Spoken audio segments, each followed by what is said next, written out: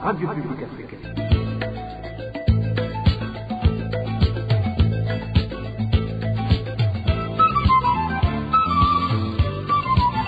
Radio Publique Africaine.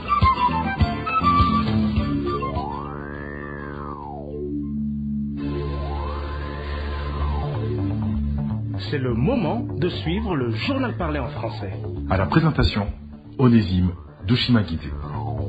Ravi de vous retrouver à ce rendez-vous d'information de ce mercredi 4 janvier 2023, dont voici le sommaire.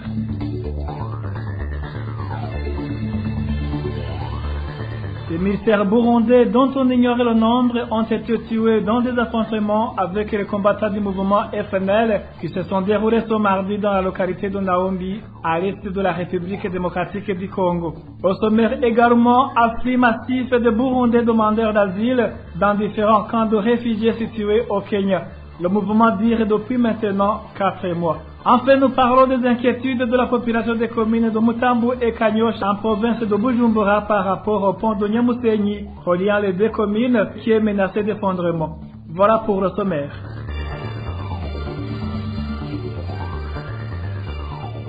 Ouvrons cette édition sur la page sécurité. Un certain nombre de militaires burundais auraient laissé la vie dans des affrontements qui les ont opposés ce mardi le 3 janvier avec les combattants du mouvement FNL. Ces combats se sont déroulés à l'est de la République démocratique du Congo, dans la localité de Naombi. Isidore Nibizi, président du mouvement FNL, fait savoir que plusieurs objets de l'armée burundaise, dont des fusils, ont été saisis par les combattants du mouvement FNL et ont pu aussi identifier certains militaires de l'armée burundaise qui ont succombé sur le champ de bataille. Suivez plutôt Isidore Nibizi, président du mouvement FNL. Le parti FNL, comme il a promis, d'informer les Burundais de ce qui se passe sur le terrain, chose faite, chose promise. Nous trouvons l'occasion aussi de vous annoncer que hier, le 3 janvier 2023, a eu lieu un affrontement entre FNL contre FDN sur la colline de Naomi. C'était aux environs de 14 heures. Le combat n'a pas duré longtemps, mais l'ennemi, il a subi beaucoup d'échecs.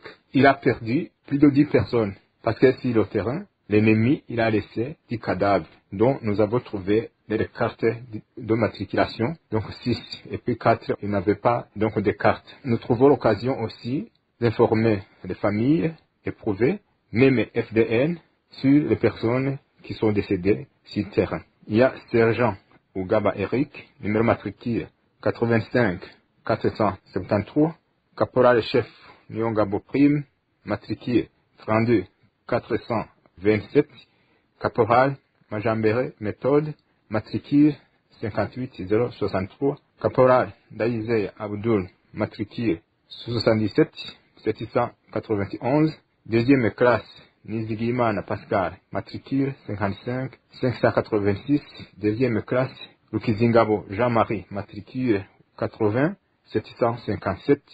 Du côté FNR, il n'y a aucune perte, pas même mes embrasses. Pour Obitin, FNR, il a pu saisir 8 fusils, dont une mitrailleuse de marque PKM, puis 7 Kalachnikov, 9 grenades et beaucoup de tenues militaires. Parlons justice à présent. La sentence prononcée contre la journaliste Floriane Irangabiye est inhérente pour la justice burundaise. Réaction du président de l'Observatoire pour la presse burundaise. Selon Innocent Mohozi, le jugement vient prouver pour une énième fois que les libertés d'opinion et d'expression ne sont pas respectées au Burundi, mais aussi que les appels au retour des Burundais en exil ne sont que des paroles opposées à ce qui se pratique au pays. Suivez plutôt Innocent Mohozi, président de l'OPEP. Nous sommes choqués d'entendre une telle sentence contre notre collègue Irangabiye Florian, qui n'a commis aucun délit connu, compréhensible, et qui est condamné à 10 ans de prison. Nous ne comprenons absolument pas ce qui se passe. Nous ne comprenons absolument pas ce qui se passe et nous ne pouvons pas comprendre cela. Il n'est pas possible de condamner un journaliste à une peine comme celle-là quand il n'y a aucun délit, à part les histoires qu'ils ont inventées. Nous ne comprenons vraiment pas ce qui se passe dans ce pays. Des états généraux des médias de la presse appellent à maintenir un dialogue entre ceux qui sont au pays, les journalistes qui sont au pays et ceux qui sont à l'exil, pour progressivement contribuer euh, au rapatriement de ceux qui sont à l'exil. Et maintenant, quelqu'un qui rentre de son plein gré pour vous visiter sa famille est arrêté dans des conditions totalement rocambolesques, mis en prison, condamnés à une peine lourde de 10 ans de prison, mais pour un délit qui n'existait pas, pour un crime qui n'existait pas, qu'on ne voit pas. Nous n'arrivons pas à comprendre simplement ce qui se passe dans notre pays. Euh, le- le- les appels aux réfugiés pour qu'ils rentrent, c'est à longueur de journée, les visites auprès des réfugiés qui sont à l'extérieur pour les inciter à rentrer. Nous avons vu la dernière délégation qui s'était rendue dans le pays voisin, le Rwanda, pour appeler les réfugiés à rentrer. Et parallèlement, il se passe autre chose dans le pays. Certains de ceux qui rentrent sont, sont, sont, sont tués. On a vu le témoignage de la dame de, de Kirundo.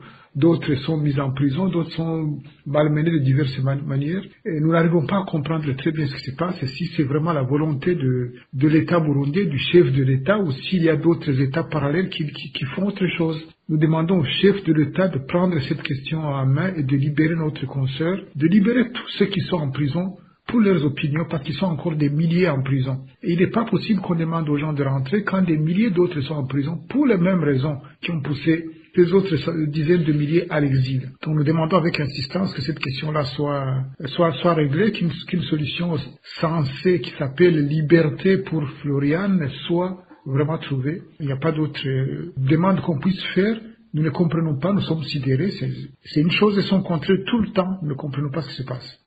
Florian Ilangavier a été condamné par le tribunal de grande instance de Mukaza à 10 ans de prison pour atteinte à l'intégrité territoriale du pays. Je vous disais un titre affirmatif de Burundi dans des camps de réfugiés situés au Kenya. Le mouvement dure depuis maintenant quatre mois, mais le rythme aurait augmenté avec le mois de décembre. Les persécutions et la pauvreté qui se vivent dans les familles sont en grande partie à l'origine de cette fuite. Le point avec Eric Nyonzima. Les informations que nous détenons de nos sources dans les cas de réfugiés au Kenya font savoir qu'ils se manifestent en Afrique massive de Burundi depuis le mois de novembre 2022. Les réseaux avancés par ces réfugiés sont relatifs à la pauvreté et la famine, c'est le témoignage. Il fuit principalement la famine et la pauvreté.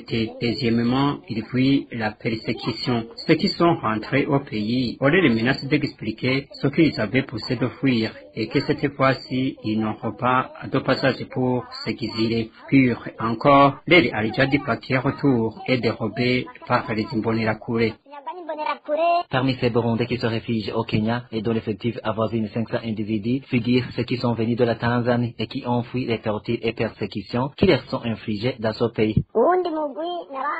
Un autre groupe est composé de ceux qui viennent de la Tanzanie pour se rendre directement au Kenya sans passer par le Burundi. Il dit que le gouvernement tanzanien les rapatrie de force, les prive de nourriture et a fermé les églises, raison pour laquelle ils ont préféré se réfugier de nouveau au Kenya. Ces demandeurs d'asile burundais implorent le HCR de prendre en charge leur situation car, précise-t-il, ils vont bientôt totaliser deux mois d'attente sans aucun signe qu'ils vont avoir les papiers pour réfugiés. Merci à toi, Eric Nyonzima. En page des droits de l'homme, les habitants du chef-lieu de la commune Mabanda en province de Makamba se plaignent de la pollution sonore en provenance d'un hôtel nouvellement inauguré. Ces derniers sollicitent l'intervention des hautes autorités vu que les plaintes déposées auprès de leurs autorités administratives sont restées sans suite. Le point avec Emile Niasumba.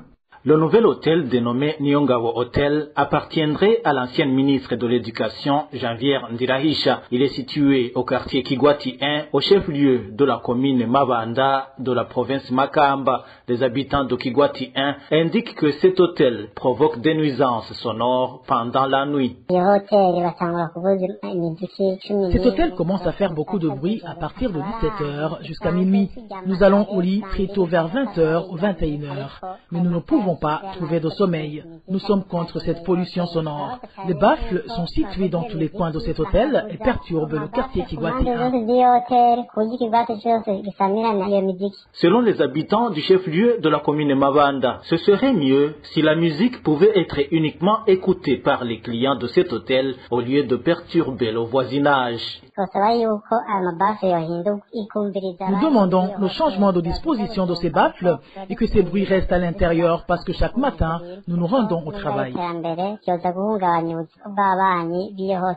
Ces habitants du chef-lieu de la commune Mabanda indiquent qu'ils ont soumis la question aux administratifs, y compris l'administrateur communal. Nous n'avons pas pu joindre Jean-Berry Hatungimana, administrateur de la commune Mabanda, pour nous donner des éclaircissements. Merci à toi, Emile Niwasumba. Après une petite transition, nous parlons des nouvelles de la société. RPA. Persistance de la pénurie du carburant dans différentes localités du pays. À Chibitoke, les gens ont de plus en plus du mal à se déplacer vu que les transports en commun ne sont plus accessibles à tout le monde suite à la hausse du ticket de transport occasionnée par cette carence. Le point avec Josiane Moudaneza. Sur à peu près huit stations-service que compte la province Chibitoke, aucune ne dispose pratiquement pas de carburant, et ce depuis plus d'un mois. Une situation qui pèse sur la population de la place, surtout en ce qui est du déplacement. Cet habitant de Chibitoke qui s'est entretenu avec la RPA fait savoir que les prix des tickets de transport ont été sensiblement revus à la hausse, surtout pour le trajet Chibitoke-Bujumbura. Dans toute la province de Chibitoke, on ne peut trouver de carburant nulle part. Et cela se répercute beaucoup sur le déplacement. Par exemple, de Lugombo vers Bujumbura, à bord de véhicules de type Probox, le trajet coûte 10 000 et 8 000 francs burundais si tu voyages dans des IAS. De Lugombo à Gasenyi, le trajet qui était à 1000 francs burundais a triplé, car aujourd'hui, on paie 3 000 francs burundais. Même les déplacements internes sont passés du simple au triple. C'est le cas par exemple du trajet Lugombo-Chibitoke qui est passé de 500 à 1500 francs burundais. Vous comprenez que la vie est devenue trop chère avec cette pénurie du carburant. Selon nos sources, même le peu de carburant disponibilisé est vite détourné pour alimenter le marché noir, ce qui ne fait qu'empirer la situation. Sur le marché noir, un litre et demi d'essence coûte 16 000 francs burundais. Probablement que dans quelques jours, ça pourrait monter jusqu'à 20 000 francs burundais. Au fait, tout a été chamboulé à cause de ce manque du carburant. Pour le moment, les habitants de Chibitoke déplorent le comportement des autorités qui restent les bras croisés face à ce problème qui handicape tous les secteurs de la vie du pays. Dans l'entretemps, les informations en provenance de la province de Chibitoke font savoir que l'après-midi de ce mercredi, quelques stations-service du chef-lieu de la province Chibitoke ont été approvisionnées en essence, même si ce carburant n'a duré que le temps de la rosée. Nos sources précisent que certains sont rentrés bredouilles au moment où d'autres ont laissé leur voiture chez des amis de la place, car ne disposant pas de carburant, pouvant les faire retourner chez eux. Même son de cloche dans les provinces de Karouzi et Rutana. Là aussi, les transporteurs en commun qui parviennent à s'approvisionner en carburant sur le marché noir à un prix exorbitant major et aller-retour les prix de transport comme bon leur semble. Une situation qui se répercute sur les usagers qui en souffrent davantage. Reportage signé Eroge de Veremesh. Au moment où les provinces Rutana et Karoussi comptent peu de stations-service, il y a près de deux semaines que ces stations ne possèdent aucune goutte de carburant. Les premières victimes de cette situation deviennent alors les usagers du transport en commun. Les transporteurs justifient la hausse du prix du ticket par le fait qu'ils s'approvisionnent sur le marché noir à des prix exorbitants. En province Rutana, actuellement, les prix de transport ont doublé, indique ce citoyen. Au centre-ville de Rutana, il y a quatre stations-service, mais aucune ne possède du carburant depuis plus d'une semaine. Par conséquent, les prix de transport ont doublé. Par exemple, de Rutana vers Gitega, le trajet qui coûtait 5 000 coûte aujourd'hui 10 000 francs. De Rutana vers Bujumbura, c'était 11 000, mais actuellement, on paye 20 000 francs. Quant à Rutana Makamba, le ticket est passé de 6 à 12 000 francs burundais. Situation pareille en province Karoussi. Les usagers du transport en commun ne savent plus sur quel pied danser dans la mesure où les prix de transport changent du jour au lendemain. La province Karoussi compte deux stations-service, à savoir une située au centre provincial et une autre au centre de la commune Bouhiga. À Bouhiga, le carburant n'a été disponible qu'au cours de la semaine de la fête de Noël. Mais aujourd'hui, il n'y en a plus. De Karoussi vers Gitega, à bord d'une voiture de type Probox, on payait entre 6 et 7 000 francs, mais aujourd'hui l'on paye 10 000 francs. Pour Bujumbura, on paye entre 20 et 25 000 francs burundais. Et pendant les jours de fête, c'était pire. Depuis Bujumbura jusqu'à Karoussi, on a payé 40 000 francs. Donc, les prix varient selon les clients qui sont disponibles. Il est à signaler que dans ces deux provinces, une bouteille d'un litre et demi du carburant coûte entre 10 000 et 12 000 francs burundais. Merci à toi, Héros du Dizel Mécha. Je vous le disais en titre, les habitants des communes Mutambu et Kanyosha en province de Bujumbura se plaignent de l'inaction de l'air administratif qui ne font rien pour réparer un pont qui sépare les deux communes et ce malgré les alertes lancées par la population de la place qui craint que ce dernier ne s'effondre d'un moment à l'autre. Le point avec le vice-seigneur Mungere. Les habitants des deux communes, à savoir Mutambu et Kanyosha de la province de Bujumbura, s'inquiètent du mauvais état du pont de Nyamusenyi, relié les deux communes. Ces habitants déplorent l'attitude des autorités des communes qui ne font rien pour que ce pont soit réhabilité, surtout qu'il contribue au développement des communes à travers la collecte des taxes sur les camions qui passent sur son pont pour transporter des pierres et des sables utilisés dans la construction. Ils payent des taxes qui sont bénéfiques au développement des deux communes. Par exemple, en commune Mutambu, on a mis une barrière au niveau de la localité communément appelée Disco pour empêcher les camions de continuer la route sans payer la taxe communale. En commune Kanyosha, ce genre de barrière a été placé dans la localité de Gyangwe. De plus, lorsque ce pont sera détruit complètement, il sera difficile et même impossible pour les élèves et les enseignants de la commune Kanyosha qui traversent toujours la rivière Mugere pour atteindre la commune Mutambu. Les élèves de la colline Kinama et Mukenye de la zone Kiyenzi en commune Kanyosha qui étudient à l'écopo Kigage et au lycée communal Boudiama de la commune Mutambu auront d'énormes difficultés pour y arriver quand ce pont sera complètement détruit. Quant aux enseignants de l'écofo Miaba et du lycée communal d'Urdiagira qui habitent au quartier Ruziba, ils auront du mal à se présenter à leur lieu de travail. Ces habitants demandent aux autorités des deux communes de tout faire pour que son pont soit réhabilité avant qu'il ne soit tard. Sinon, il sera difficile de s'approvisionner, surtout que presque toutes les marchandises qui entrent dans ces deux communes traversent la rivière Mugere.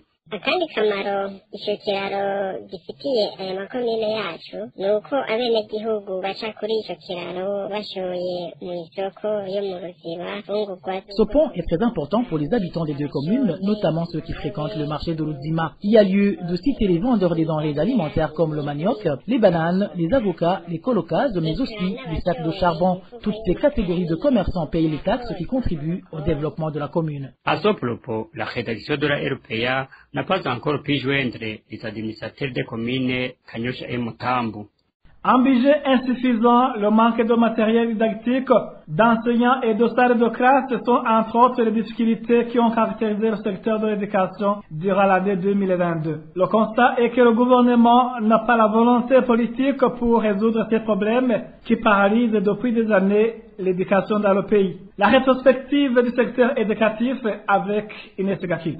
Dans le secteur de l'éducation, il n'y a pas eu de changement en 2022 en ce qui concerne les problèmes qui handicapent le système éducatif depuis des années sans solution. Les parents ainsi que les enseignants n'ont pas cessé d'alerter que dans plusieurs écoles du pays, il se remarque toujours un manque criant de matériel didactique, à savoir les livres de maîtres et d'élèves ainsi que le matériel indispensable pour les cours scientifiques, un effectif insuffisant d'enseignants vu le surnombre des élèves, une situation aggravée par le manque de salles de classe et de bancs pupitres dans ces écoles où il y a des élèves qui suivent les cours assis par terre ou sur des pierres ou encore des briques.